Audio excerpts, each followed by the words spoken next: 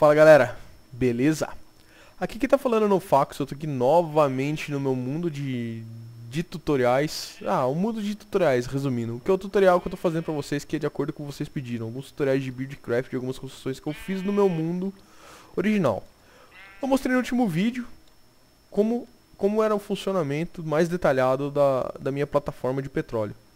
Então aqui na plataforma de petróleo eu tenho uma saída de combustível que seria a mesma saída aqui que eu vou usar no query. Vocês podem entender que esse reservatório é o mesmo daquele lá, é só fazer a ligação. E isso aqui vai ser usado para alimentar os três motores que eu uso no meu query, que está sendo reproduzido aqui de uma maneira mais ou menos parecida. E aqui, o reservatório de água, no meu mundo eu usei o mesma, a mesma bomba de água que eu usei para alimentar minha plataforma de petróleo eu usei para alimentar meus motores do Query. É só vocês darem uma verificada no vídeo lá, vocês conseguem confirmar isso aí. E aqui eu fiz um query basicamente igual ao que eu tenho lá, um pouco menor, só para fazer a reprodução na minha fábrica de pedras. E eu fiz uma ligação dos motores justamente para o query funcionar. Eu já deixei ele meio no jeito escavado aqui, com pedra, para ele conseguir tirar pedra, né, que eu, que eu realmente interessa pra gente. Então vamos lá para a construção da fábrica, galera. O que, eu tenho aqui? Aqui eu tenho a saída do query. Basicamente igual o, o que eu tenho lá. O que, eu tenho de diferente? Ah, eu tô saindo query aqui pra uma lava. Pra que, eu tô saindo pra lava? Porque eu não tô afim de pôr baú, porque enche muito rápido esse query com baú. Eu não vou precisar de nenhum item do que ele tá just, é, tirando além da madeira. Então eu vou pegar um tubo de diamante aqui, da madeira. Eu tô viajando, galera. Da madeira não, do...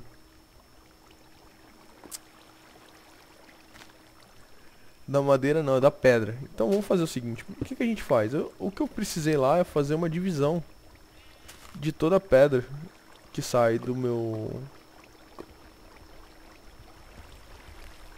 Que sai do meu query. Eu fiz uma divisão pra ela, então elas vão sair todas pro mesmo lugar. É o que eu vou fazer aqui. Eu vou pegar toda a cobblestone que sai do meu query. Vai sair nesse tubo aqui. E todo o resto vai cair na lava, porque eu não vou precisar. Então para fazer isso eu pus um tubo de diamante. Opa! Forno criativo aqui dá um mergulho na lava aqui para reposicionar meu tubo. Beleza. Então vamos lá, como é que eu faço pra fazer o setup do meu tubo de diamante? Eu já mostrei algumas vezes. Deixa eu pegar uma cobblestone. Deixa eu pôr no criativo aqui rapidinho. Não vou mais precisar de tubo de diamante. Cobblestone. Beleza, galera. Eu vou vir aqui com alguma outra coisa clicado. Clicar aqui, eu tenho que ver a cor que está saindo. Ah, a cor que está saindo é branca. Então no branco, eu quero que saia cobblestone. Então eu venho aqui e coloco a cobblestone.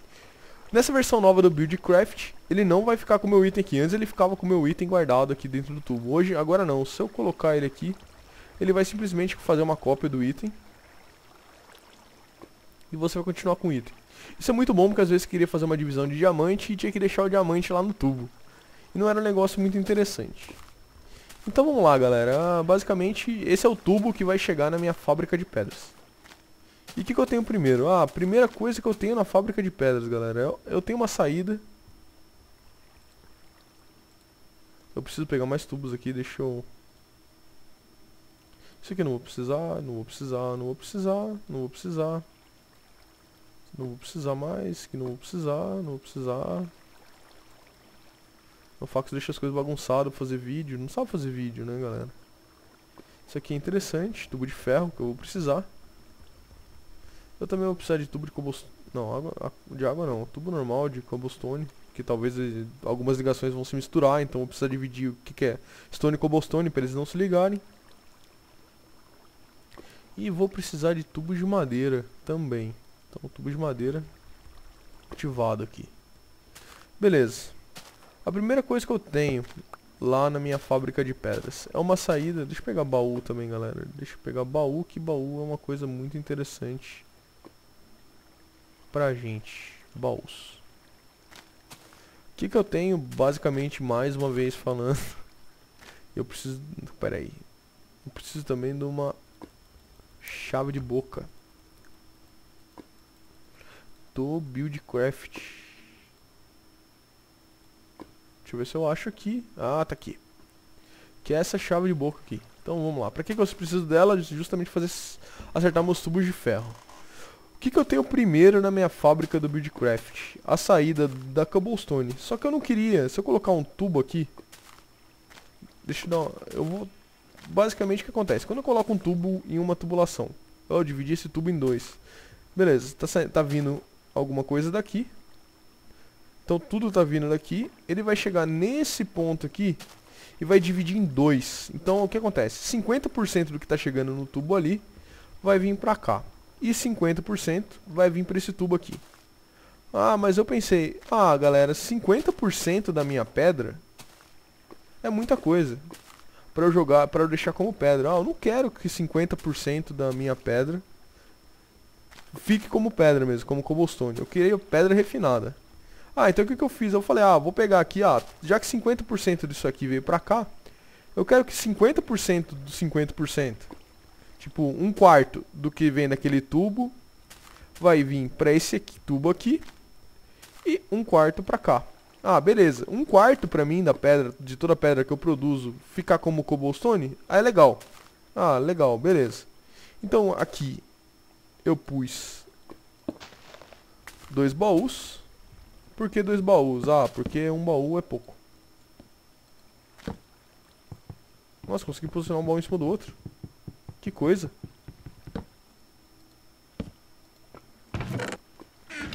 Deixa eu colocar alguma pedra.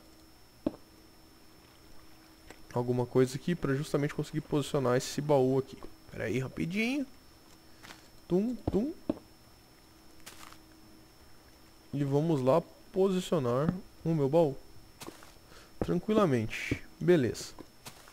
Ah, tranquilo. Ah, um quarto da pedra tá chegando aqui. Legal, é isso que eu queria. Ah, mas e esse um quarto aqui? O que eu faço com esse um quarto? Ah, esse um quarto eu quero jogar de volta na tubulação. Legal, então o que, que eu vou ter? Três quartos da pedra que sai do meu quarry vai para produção da fábrica de pedras. E um quarto vai para o estoque de cobblestone. E, ah, então o que, que eu vou fazer? Simplesmente pegar e ligar aqui. Ah, beleza, cara. No Fox. Resolveu o problema. Ah, mas aqui tem um problema. Quando ele chega aqui, esse... Essa pedra que vem daqui pode voltar. Ah, então aqui eu preciso de um tubo diferente.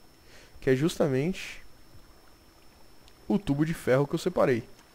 Então, colocando um tubo de ferro aqui, qual que é a propriedade do tubo de ferro? Deixa eu ver se consigo acertar ele aqui. Ah, beleza. Ele só vai material para onde está transparente aqui. Então, ó, tudo que chega nesse tubo aqui, ele vai ter duas opções. Ele vai chegar aqui, ele vai poder voltar. Aí ele vai ver, ah não, tá bloqueado aqui, então ele vai vir pra cá. E tudo que vai vir daqui, ele vai ver aqui, ah, tem duas opções. Pra cá e pra cá. Ah, mas aqui tá bloqueado, então ele vai vir tudo pra cá. Então toda a minha produção de pedra vai vir pra cá. Eu fiz um loop igual esse no, na minha fábrica, vocês não podem não enxergar, mas a mesma coisa, só que eu fiz menorzinho, eu fiz com um tubo aqui assim. Menorzinho, mas deixa esse aqui maior que fica mais visível para vocês enxergarem. Então beleza, essa é a primeira etapa da minha fábrica de pedra. Eu separo a cobblestone, para mim quando eu quiser cobblestone eu tenho cobblestone disponíveis nesse, disponível nesse baú aqui. Vamos para a segunda parte. Ah, beleza, o que, que mais que eu queria? Ah, eu achava que era muita pedra. Mesmo assim é muita pedra ainda, galera. Ah, eu vou ter muita pedra e eu não quero tanta pedra assim.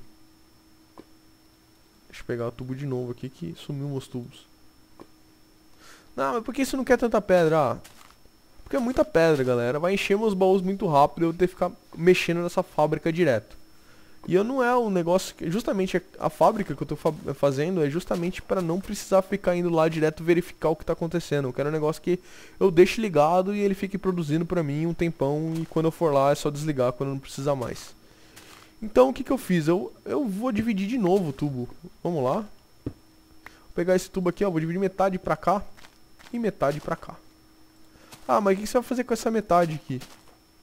Ah, essa metade eu quero que... Eu preciso de scrap. Eu queria fazer scrap na época porque eu precisava de scrap pra... Opa, tô destruindo tudo errado aqui. De scrap pro meu Mass Fabricator que eu ia fazer. Então eu vim aqui, simplesmente... Peguei e coloquei... Alguns...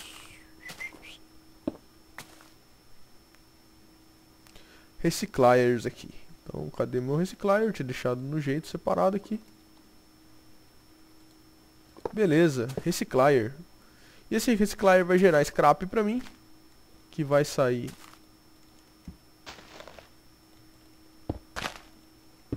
Nesse ponto aqui. Eu só vou precisar... O que eu vou precisar pra tirar de, o, o scrap de dentro das máquinas? Dois motores de redstone aqui. Não motor, a gente pega isso aqui. Deixa eu posicionar o tubo de madeira, né?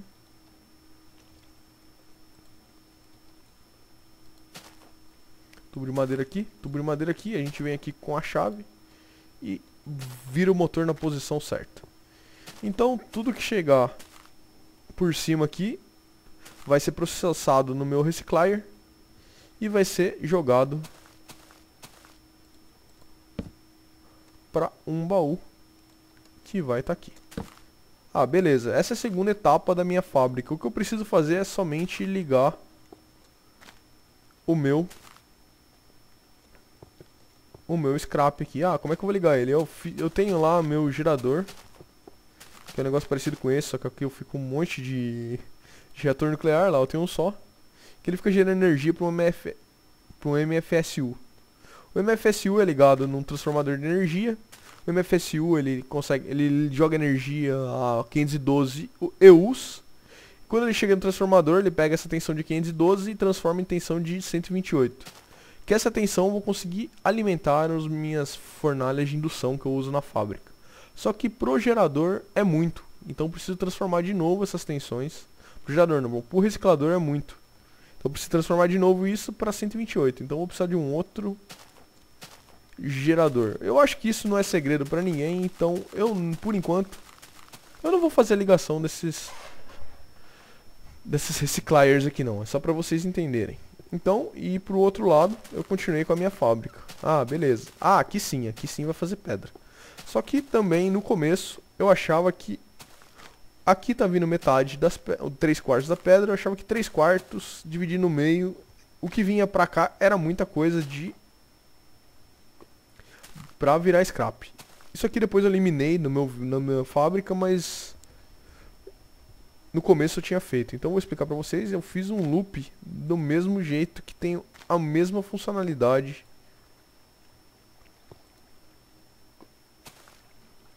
do outro loop que eu fiz ali. Então aqui eu tenho que colocar um tubo de ferro.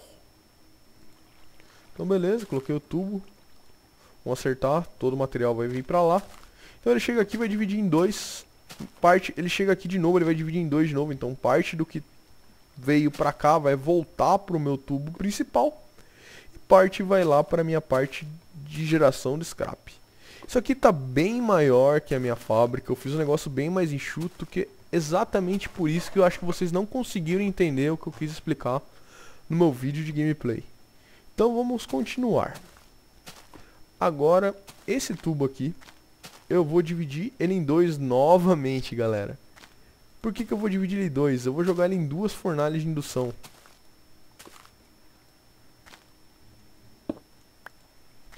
Opa, tá, tá difícil, tá difícil. Então vamos jogar em duas fornalhas de indução. Uma vai ficar aqui e uma vai ficar aqui. Eu vou dar uma paradinha só que eu vou fazer a ligação dela. E vai demorar um pouquinho, então vou dar uma paradinha no vídeo, fazer a ligação das fornalhas de indução e eu já mostro pra vocês. Então beleza galera, eu fiz aqui a ligação. Eu tô saindo aqui do meu do meu transformador MV Transformer, que é um transformador de alta energia, alta voltagem para média voltagem, que é de 512 EUs para 128 EUs. Fiz uma ligação com cabo de ouro, porque o cabo de ouro é o único que é, ele aguenta 128 EUs. Esse cabo aqui é o cabo de ferro, que é o cabo de alta voltagem, que ele aguenta 512 EUs. E aqui é um cabo de ouro que ele ele qual, por que, que eu uso o cabo de ouro em vez de usar esse cabo aqui? Esse cabo tem perda de energia maior que o cabo de ouro. Então quanto, quanto tipo, pior o cabo, o cabo é para questão de resistência elétrica, ele é melhor na questão de eficiência. Então o melhor cabo é o cabo de baixa tensão, ultra baixa tensão, que é o cabo feito de estanho. Ele é o melhor de todos, ele é o que menos perde energia. E assim, quanto melhor, ah, o cabo de cobre perde um pouco mais, o de ouro perde mais que o de cobre, e esse aqui perde mais que o de que o de ouro. E assim vai. O único cabo que é melhor que todos é o cabo de diamante lá, que ele é feito de fibra de diamante. Então, fibra de vidro, só que precisa de diamante para fazer. Então é muito difícil fazer ele. Aqui é basicamente assim que eu faço minhas ligações elétricas. Eu faço dois quadrados de distância do chão, que eu posso vir aqui simplesmente e cobrir com, com dirt. Por que vocês não conseguem ver as ligações elétricas no meu mundo? Porque fica tudo embaixo da terra. Então a gente vem aqui. Eu aproveitei aqui e fiz a ligação dos meus... Os meus reciclers também. Como é que eu fiz? Nesse cabo de ouro aqui, eu coloquei um outro transformador, que é um transformador de baixa voltagem. Um LV transformer. E a partir dele eu puxei um cabo de cobre. Aqui já vai estar tá passando a tensão de, 20, de 32 EUs, que é a tensão baixa. Que é o que precisa para alimentar os dois reciclares. Então aqui eu posso fechar também, vocês já viram. E aqui posicionarei as minhas fornalhas de indução. Então vamos lá. Fornalha de indução número 1, fornalha de indução número 2. E a gente vai simplesmente posicionar uma tocha de redstone atrás de cada uma. Por que a tocha de redstone, galera? Pra fazer a fornalha aquecer. E ela não tá gerando energia. Por quê? Por quê? Porque esse transformador deve estar tá com um problema. Deixa eu pôr no criativo aqui, galera. Rapidinho. Vou colocar esse transformador aqui. E vou colocar um cabo aqui de alta tensão daqui pra lá. Provavelmente agora está funcionando. Exatamente. Tá tudo funcionando, as fornalhas estão começando a aquecer. E piririm parará. Beleza. Então o que está acontecendo? Meu tubo principal está chegando aqui. Aqui ele vai dividir em dois. Metade vai para essa fornalha e metade vai para essa. Por que duas fornalhas, galera? Porque uma fornalha não dá conta. A verdade é essa, uma fornalha de indução, mesmo na capacidade máxima de... De... De processamento, ela não dá conta. Então eu preciso de duas. E o bom é que eu já divido aqui metade da minha pedra que chega aqui, da minha cobblestone que chega aqui, vai virar simplesmente stone, que eu vou usar, que eu uso bastante stone, como vocês podem ver nas minhas construções. Então eu fiz basicamente uma ligação assim para baús. O que, que eu tenho aqui? Ah, eu tenho três baús pegar uma terra aqui. Forno criativo rapidinho.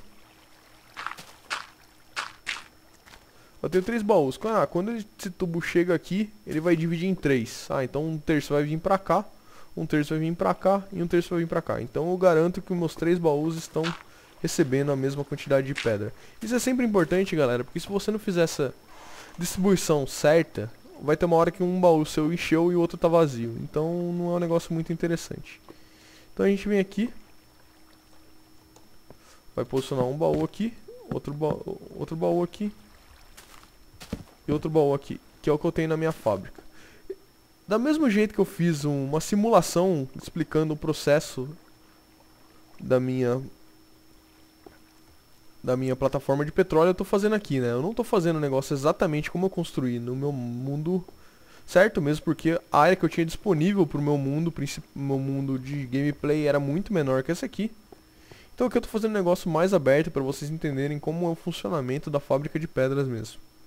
Então aqui, 50% da pedra que chega para o meu tubo principal vai virar stone e vai ficar disponível para mim como stone aqui para eu usar como, como eu quiser. E 50% vai sair em outro tubo que vai sair por esse tubo aqui de madeira, né? Que toda vez que eu vou saindo, tirando alguma coisa de algum equipamento, eu tenho que usar o tubo de madeira. E vai vir pra cá e vai ser dividido em um ponto. O que esse negócio tá fazendo aqui? Sai.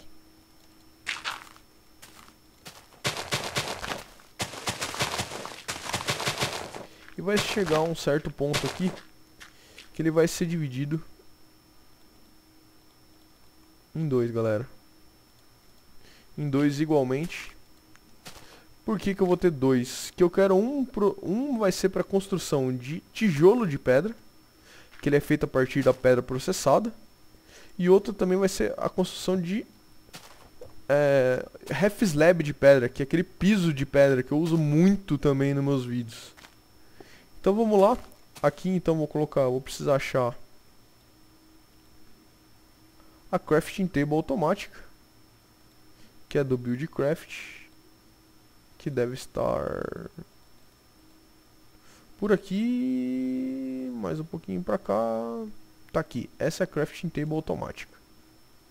Como ela funciona da seguinte maneira, eu já usei ela algumas vezes nos meus vídeos, já mostrei como é que faz, então não vou entrar nesse mérito aqui.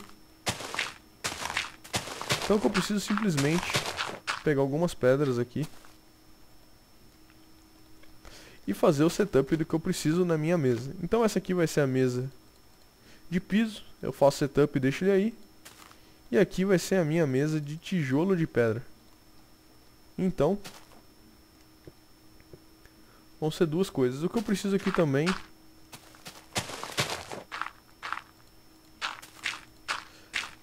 é fazer, colocar um motor de redstone para eu conseguir tirar os itens da minha, das minhas mesas. Então, os motores estão posicionados aqui, vou colocar um tubo de madeira na saída. E minha fábrica está pronta, basicamente é isso que eu fiz. Aqui na saída, o que, que eu fiz de diferente? Na saída do tubo de madeira, é, do tijolo de pedra eu pus um baú. E na saída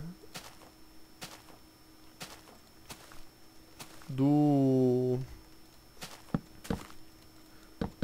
da minha dos meus tabletes de madeira aqui no Stone Slab.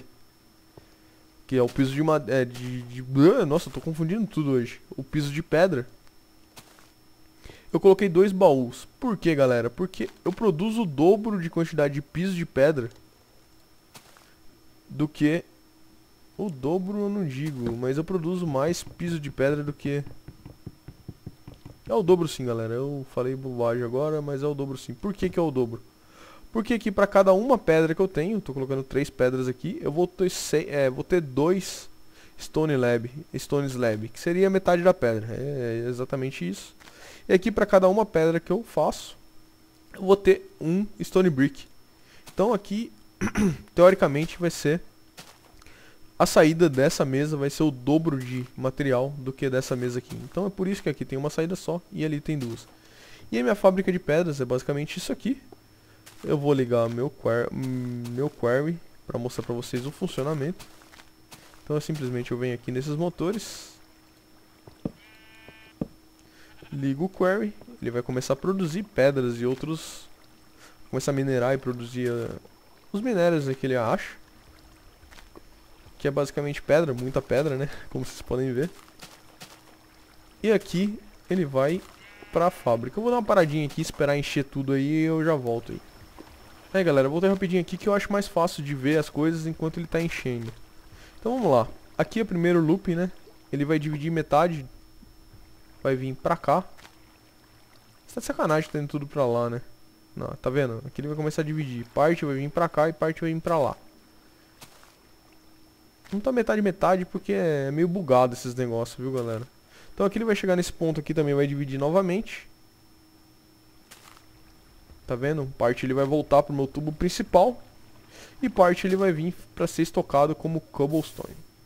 Continuando, essa, essas pedras que estão vindo para cá vão voltar pro meu tubo principal.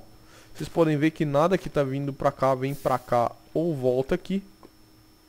Então ela está voltando para posição, então cai naquilo que eu expliquei. 3 quartos vem no meu tubo principal, 1 um quarto fica estocado como cobblestone. Chegando aqui, a mesma coisa, ele vai dividir em dois. Então parte vai para lá, parte vai para cá. E parte do que vem para cá, volta para lá. Essa é a função do looping. Então, beleza. Então vocês conseguem ver que vem parte da, das minhas combustões vem para o recicler. Que vai produzir scrap. E já tem o scrap produzido aqui, por incrível que pareça. E parte vai dar a volta aqui e vai voltar ao motor principal. E parte vai para o motor principal direto. Então vamos lá. Continuando Quando chegar aqui, vai dividir em dois novamente, metade vai vir para essa fornalha de indução e metade vai vir para essa fornalha de indução. Nessa fornalha de indução eu vou produzir pedra, em ambas fornalhas de indução eu vou produzir pedra, né? A pedra polida. E a, o que sai dessa fornalha vai ficar estocado nos baús para eu utilizar como eu quiser. E o que sai dessa fornalha vai ser processado novamente, tanto em tijolos de madeira, tijo tijolos de pedra, que mania de madeira, viu galera? Quanto em piso de pedra. Então é isso, galera. Eu espero que vocês tenham gostado. Ficou meio enrolado ainda, porque o meu forte não é fazer tutorial. Eu tô aprendendo a fazer tutorial ainda, então tem que aprender a explicar melhor e pensar certinho no que eu tô falando. Pra ficar bem claro pra vocês entenderem. Mas o tutorial acho que é o que vocês estavam precisando pra terminar de entender a funcionalidade da minha fábrica de pedras. Então é isso aí, galera. Espero que vocês tenham gostado. Como eu disse no último vídeo, se tiverem alguma dúvida, deixe nos comentários. Só que o melhor mesmo é mandar um e-mail para nofax.gmail.com que fica melhor para eu responder para vocês a dúvida. Eu tenho mais liberdade para escrever, porque no YouTube eu tenho limite de caractere para conseguir responder um comentário. E no e-mail não. Então eu posso fazer um negócio bem mais detalhado para vocês. E se vocês gostaram do vídeo, como toda vez eu falo, clique em gostei embaixo do seu vídeo. Se você gostou mais ainda, favorite esse vídeo. E é isso aí, galera. Obrigado a todo mundo que me acompanhou aqui, até aqui. Espero que tenham gostado. Um abraço e fui.